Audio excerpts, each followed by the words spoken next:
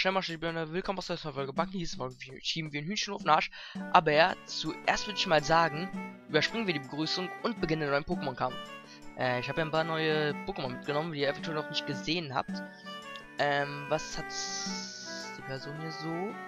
Ja, ich glaube, ich weiß, womit ich liede. Hm? Das wird witzig. Hm. So. Na gut, zwei Pokémon hier. Ja, zwei kennt ihr schon und ein Pokémon habe ich in einer anderen Version mitgebracht, die kleine Schwester davon. So. Der Kampf beginnt. Wir spielen ja diesmal nach den Carlos-Regeln. Na gut, also wir spielen immer nach den Carlos-Regeln, aber wir kämpfen gegen eine Person aus Carlos. Also, dann mal gucken. Juwelteil. Hahaha. das war genau das, was ich gehofft habe, Leute. Ähm. Na gut, eigentlich hat er aber auch nichts, was es hier mit Catch 'em All aufnehmen könnte. Catch 'em All catcht wirklich All. Hm, dunkle Aura. vielleicht sogar. Na gut, hier, erstmal gehen wir mit dem Toxin rein. Das wird witzig. ah, ihr hört im Hintergrund übrigens wieder selbst eingeblendete Musik. Oh, zurückgerufen. Auch gut, habe ich nichts dagegen. Also es gibt ja eigentlich nichts, was da, das wirklich vor Catch 'em All sicher ist. Catch 'em All fällt dir alles ein. Mhm. Also es sollte. Ähm, ist jetzt vergiftet. Eventuell, wenn wir Glück haben, switch, wird jetzt hier nochmal geswitcht zu einem weiteren anderen Pokémon. Weil dann haben wir zwei Pokémon vergiftet. Aber. Oh. Ah ja, es ist ein Mega. Ja gut, anders wird es auch keinen Sinn machen. So, Mega Glurak X, wenn ich mich nicht irre. X? Äh. Nee, auf jeden Fall ein physisches, kein psychisches. So, ähm. Oh, Inferno. Das könnte Rad werden.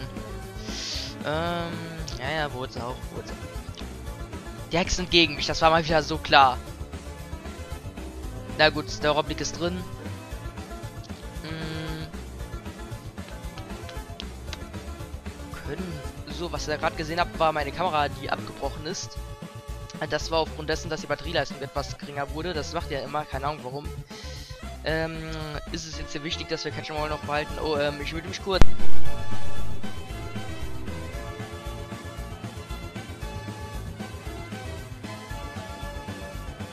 So, ich gehe wieder raus und hoffe mal, dass ja... Okay, es hat funktioniert. Der Wunschtraum war jetzt bestens platziert. Ähm, ja gut, das ist ein physisches Vieh. Und es hat Fliegen. Es könnte krank werden. Ähm, aber dann weiter natürlich wieder. So, das Vieh wird durch Gift verletzt. Wir können jetzt noch ein Schutzschild gehen und direkt am Wunschtraum empfangen. Ich liebe Catch 'em All. Und Flame sollte gleich auch kaputt sein. Gut. Äh, so, der Schutzschild ist rausgehauen. Das Ding setzt Fliegen ein, aber wir schützen uns selbst. Und der Wunschtraum hat direkt eingeschlagen. So, dann sollte jetzt noch das kommen. Soll die Verbrennung kommen und dann auch noch das Toxin. Oh, ich habe keine Ahnung, in welcher Reihenfolge das jetzt genau kommt. Ne, good anyway. Gleich ist es wie draußen. So, und... Egal, was jetzt gemacht wird... Soll ich es mal kurz sagen? Nee, komm.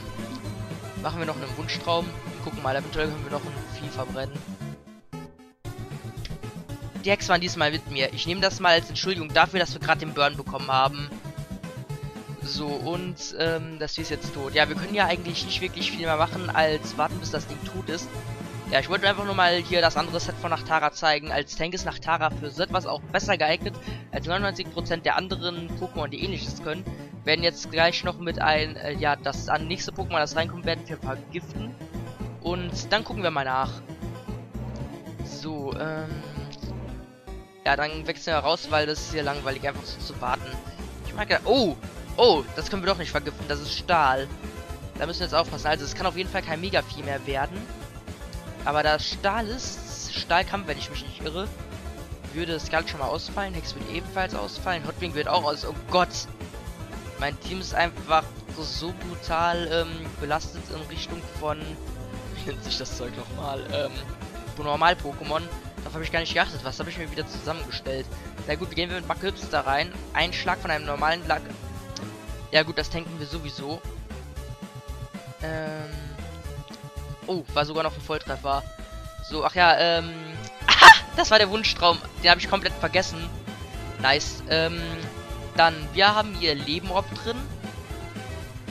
Haben ähm, rohe Gewalt, was dafür sorgt, dass der Leben-Orb zwar mehr Schaden macht, aber wir kein Leben mehr durch den Leben-Orb verlieren. Und ähm, dass unser Feuerschlag, unser Eishieb, unser Donnerschlag und unser Steigerungshieb mehr Schaden machen. Äh, ja, ich weiß, Steigerungshieb ist nutzlos, aber für den Fall, dass da mal so ein Vieh kommt mit Abschlag oder sowas, habe ich ihn einfach mal mitgenommen. Kann nicht schaden, dann können wir damit im Notfall noch boosten. Aber da wir hier einen Stahlkampfbogen vor uns haben, würde ich mal sagen, gehen wir mit einem krassen Donnerschlag rein. Oh, Nahkampf, das könnte eventuell mattern. Ja, ja, das hat gemattert, aber die Verteidigung ist gesunken. Eventuell, ich weiß nicht, hat Lucario Robustheit. Je nachdem könnte das jetzt ein One-Hit werden. Ne, er hatte keine Robustheit. Lucario ist draußen, Leute. Everything is ugly now.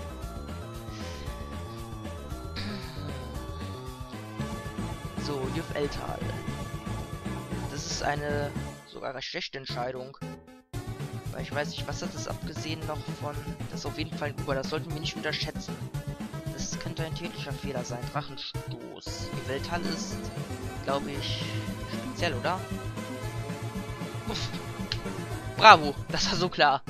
Na gut, an der Stelle ähm, tanken wir gerade mit Marco Hipster noch einen Schlag. Mehr können wir nicht mehr machen. Wieso wurde nicht sofort Psychologie eingesetzt? Das hat uns direkt one-hitted. Na gut, egal. Mm, dann gehen wir jetzt mit Catch 'em All rein. Wir sollten outspeeden und wenn die Hex nicht absolut komplett gegen uns sind, könnten wir jetzt noch ein Toxin raushauen. Das! die Hexen gegen uns, Leute. Aber wir sollten den Schmarotzer tanken. Weil es nicht sehr effektiv ist, das Vieh nicht ähm, äh, physisch ist. Und ja, und so weiter halt. So, und dann können wir in dieser Runde nochmal den Schmarotzer, äh, nicht den Schmarotzer, ähm, hier den Toxin raushauen. Wenn wir ja sowieso schon outspeeden. Und wenn es jetzt nochmal ähm, hier nicht klappt. Äh, warte, ich mich kurz.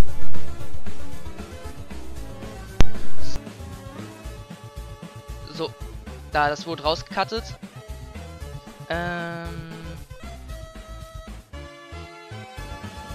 Mal sehen. Und wenn wir jetzt reingehen mit einem Hintergrund, der eventuell das Telefon, ist ja ein bisschen nervig, ich weiß. Ja gut, dann gehen wir mit einem Wunschtraum rein. So, das 4 tötet uns jetzt eventuell. Mal schauen. Ähm, ja, keine Reaktion. Da wird wohl überlegt. Ja, jetzt. Der Wunschtraum wurde rausgehauen, aber wir werden hier mit Sishnakhtara ähm, schützen. Entweder sterben wir jetzt oder sonst was. So, ja, da kommen die Unheilschwingen. Ne, wir sind tatsächlich noch am Leben.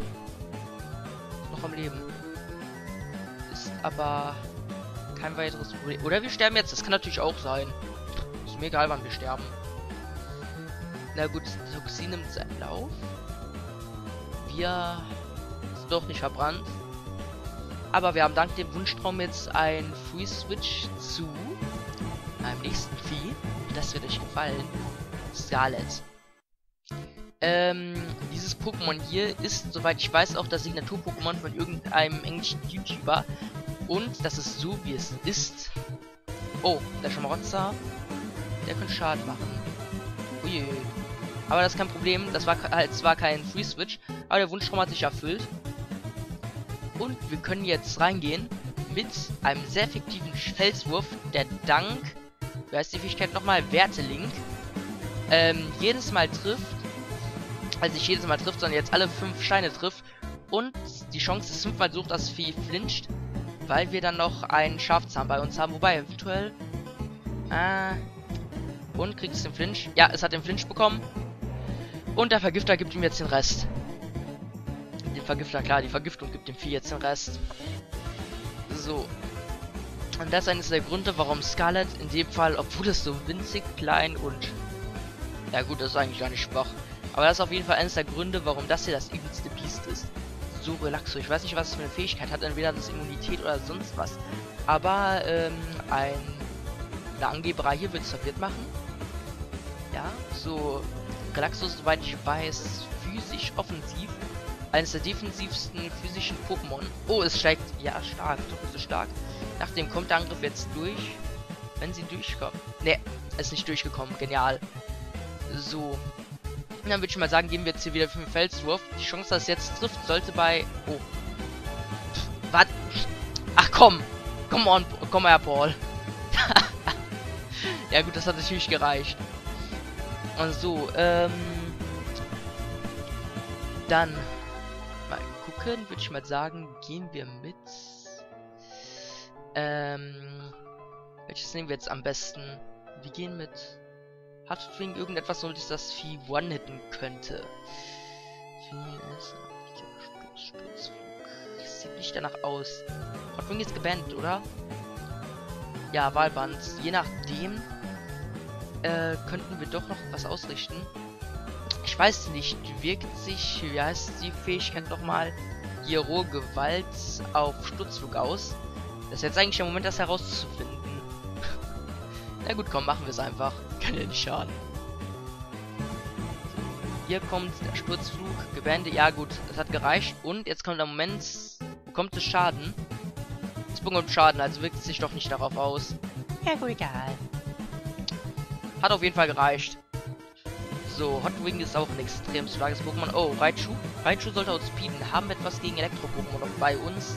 Wir sind jetzt schon herbe gedamaged. Ähm... Rising Sun. Rising Sun ist... Hier, die Attacke würde stutzen, würde es auf jeden Fall nicht one-hitten. Und wir sind gebandet, das heißt, wir können auch nicht in eine andere Attacke wechseln. Da würde ich sagen, gehe ich zu nach Tara rüber, lass das Vieh sterben und bekomme dann einen Free Switch. So. Dann. Catch 'em all. Stirbt jetzt. Bam, wenn es dadurch nicht stirbt, das ist dadurch nicht mal gestorben. Das ist dadurch nicht mal gestorben. Und das ist, warum ich es liebe. Es ist so extrem tanky und in seiner Combo ist es einfach unglaublich stark. Mit diesem Attacken-Set. Und, jo, das bringt auf jeden Fall so. Und dann würde ich sagen, gehe ich jetzt mit Hex rein. Ähm, Hex hat eine Volltrefferquote von 100%. Dann nehmen wir den Schwertstanz mit. Ist jetzt stärker. Eine normale Attacke sollte neutral sein. Ja, und hat auch nicht wirklich gemattert. So, doppelten Schaden mit Volltreffer. Nur 100%. So, und das Vieh heißt Hex. Weil es die Hex für sich gewonnen hat. Pokémon mit so einer Volltrefferquote kann keinen anderen Namen als Hex haben. Es hat Glückspilz, dann hat es noch das Item Schafklaue oder wie das Ding heißt. Und oh, es wurde zurückgerufen. Jetzt bin ich gespannt, was nochmal das letzte Vieh. Shinobi. Das war Aha. Ja, na gut, aber mit einer Volltrefferquote. Ja, gut, das hat gereicht. Das hat auf jeden Fall gereicht. Ähm, und wenn wir dann noch eine High-Crit-Attacke einsetzen, dann, ja, ist die Volltrefferquote halt auch dementsprechend hoch. Da kann man recht wenig gegen machen. Ja gut, dann geben wir dem 4 den Gnadenstoß mit der letzten Attacke. Nachtdieb. Und dann wäre der Kampf hier, denke ich, auch mal wieder gewonnen. So. Oh, Donnerschock. Wenn wir jetzt die Paralyse bekommen, könnte es noch witzig werden. Ne, okay. Schade. Schade, wäre noch witzig geworden, aber das wär's dann mit diesem Kampf. So Leute, ich würde mal sagen, wir sehen uns in dem nächsten Kampf wieder oder der nächsten Folge von Undertale, je nachdem.